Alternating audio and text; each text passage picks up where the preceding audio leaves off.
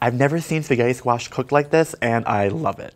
Cutting the spaghetti squash into these horizontal rings instead of huge half boats not only cuts down on the cooking time, but it also makes for a fun, fresh presentation. The sliced mushrooms and tomatoes add additional fiber, while the Italian chicken sausage adds some staying protein power.